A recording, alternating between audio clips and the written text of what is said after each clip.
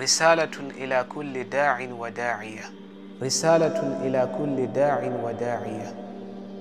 كلما سلكت طريق الدعوة تذكر الشيئين العظيمين ولا تنس عنهما مهما اشتدت الأمور عليك. الإخلاص لله والصبر له. أخلص نيتك لله ولا تخف الله لومة لائم.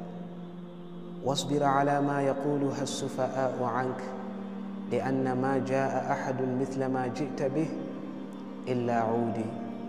إذا فعليك بالصبر ولك بشارة من الله. قال الله تعالى في كتابه العزيز وبشر الصابرين وبشر الصابرين وبشر الصابرين.